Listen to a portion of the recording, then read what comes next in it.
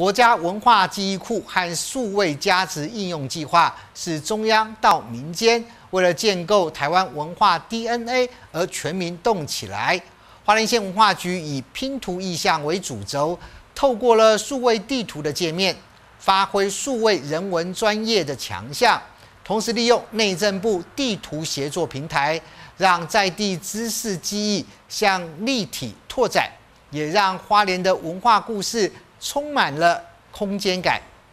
花莲县文化局委托东华大学执行的“点传回来数位共创”花莲县推动国家文化记忆库计划，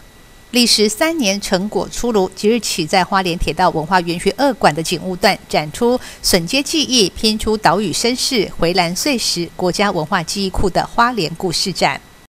这次国家记忆库的成果展，是为了将呃我们文化局。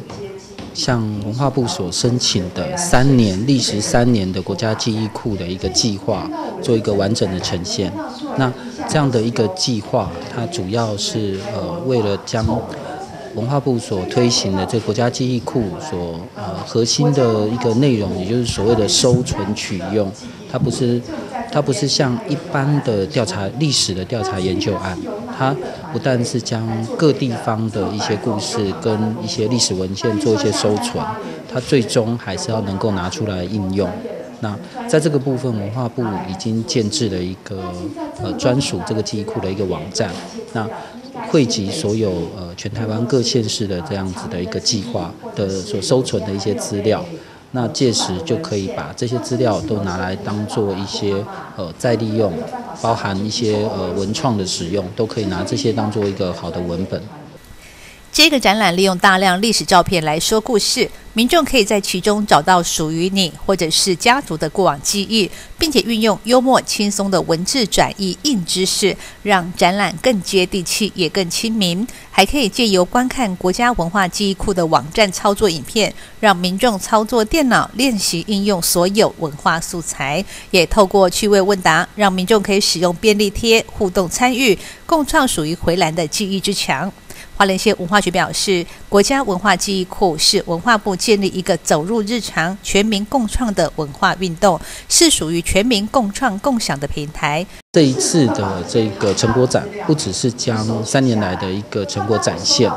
也其中有一个蛮重要的重点，就是也介绍大家如何去使用这个记忆库的网站。那到时候大家就可以拿呃我们所。呃，这次三年所收集的这个资料，然后来利加以利用。呃，我们花莲的部分，其实我们也很感谢许多的单位，主要其实包含像《根生日报》，我们长期来几十年来的呃资料，我们重要的一些呃历史事件，我们都收录在当中。那其中也包含了，比方说像。呃，长期帮花莲县政府印制出版品的燕山出版社，那还有像呃花莲女中，它呃几十年来的一些老照片，那其实都也收录在当中。举取到十一月二十九号，透过展览，期望可以推动更多人参与在地的文化故事。这里会花莲市报道。